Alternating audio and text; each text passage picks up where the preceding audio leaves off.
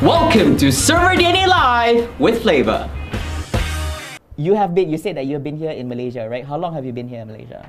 Uh, I have been here for one year and half one year.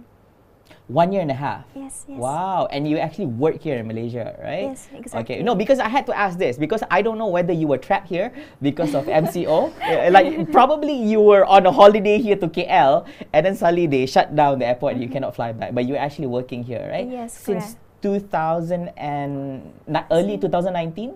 2019, I think in March, yeah, in March 2019, yeah. Oh, okay. Like, may I ask? Okay, like a lot of people, mm-hmm. we, we see a lot of people from Malaysia mm-hmm. wants to work overseas. But then mm-hmm. uh, I think this is the first time we ever actually have a guest, Japanese guest joining us, and you see you're working here, right? Yeah. So do you? So what made you want to work in Malaysia?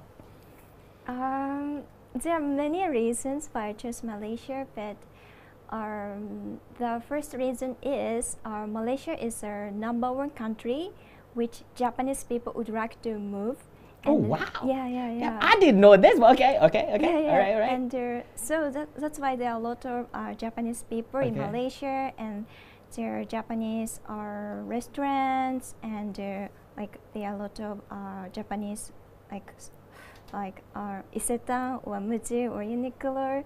So Okay. yeah, I, I thought I feel safe because I can get Japanese products in Malaysia. Okay. Hello everyone, Flava here, and if you like what you're seeing right here at Server DNA Live, make sure to subscribe and click on that bell for notifications. And if you want to see more of, of me being punished, you might want to check out these videos over here.